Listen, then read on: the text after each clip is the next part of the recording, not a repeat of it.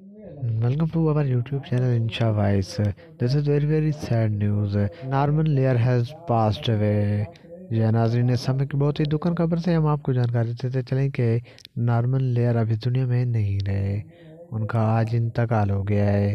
Social media report के मुताबिक बताया जी रहा है कि वो काफ़ी अर्सा चली थे। उनका एक निजी अस्पताल में इलाज चल रहा था, लेकिन अफसोस आज वो इस दुनिया फानी को छोड़कर अलविदा कह गए हैं।